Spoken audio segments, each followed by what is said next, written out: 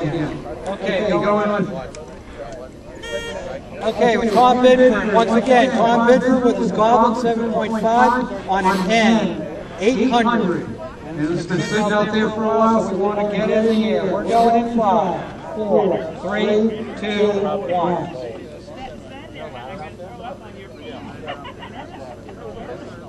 Here it goes. Okay, we got smoke finally.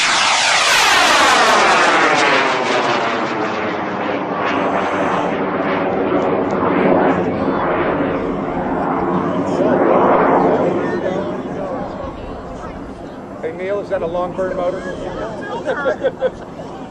Yeah, when uh, Todd said that's a long burning N, he wasn't kidding.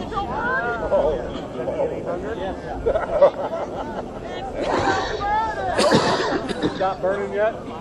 Does it come with a fire extinguisher? All right, we're gonna vent, and it's on its way down.